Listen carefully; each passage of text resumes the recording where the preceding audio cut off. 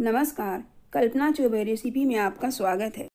आज मैं बहुत ही टेस्टी कच्चे नारियल और मावा की बर्फ़ी बना रही हूँ। इसे बनाने के लिए फ्रेश नारियल ले लेंगे। नारियल को पहले तोड़ लेती हूँ। नारियल को तोड़कर पानी से साफ़ कर लेंगे। अब इसके पीछे जो छिलका है ब्लैक कलर का, इसे एक चाकू की सहायता से निकाल लेंगे। चाकू से बड़ी आसानी से निकल जाता है। छिलका निकाल कर नारियल को फिर से एक बार पानी से साफ़ कर लेंगे। अब इसे बारीक ग्रेट कर लेंगे।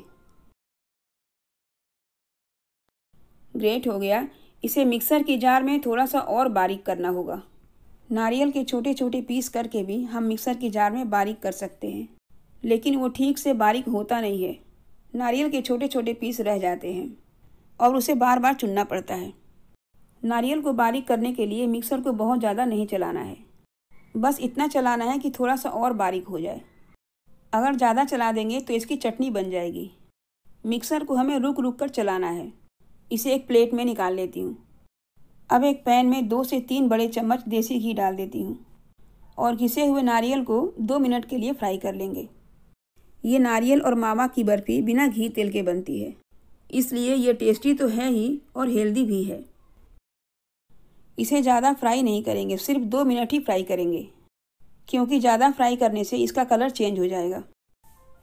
दो मिनट हो गए, अब इसमें एक लीटर दूध डाल देती हूँ।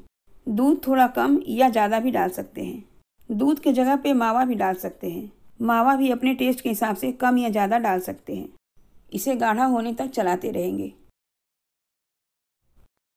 जब तक दूध और नारियल गाढ़ा हो रहा है, तब तक एक प्लेट में थोड़ा सा घी लगाकर प्लेट को थोड़ा अच्छे से चिकना कर लेती हूँ।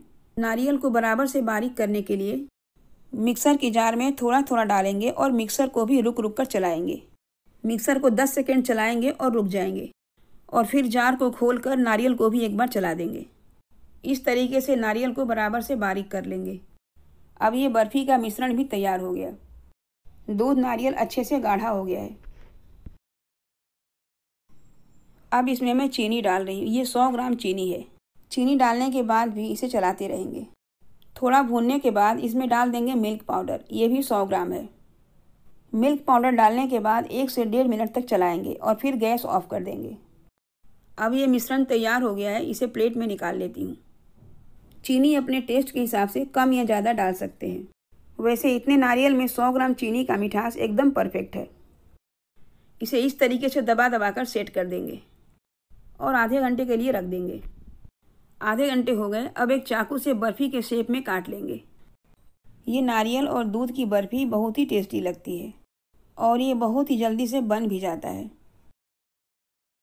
अब एक चाकू या किसी चम्मच की सहायता से बर्फ़ी को धीरे धीरे निकाल लेंगे। बहुत ही टेस्टी बर्फ़ी तैयार हो गई है। अब इसे एक प्लेट में सर्व कर लेती हूँ। ये रेसिपी आपको अच्छी लगी हो तो प्लीज़ लाइक, सब्सक्राइब और शेयर कर दीजिए। धन्यवाद।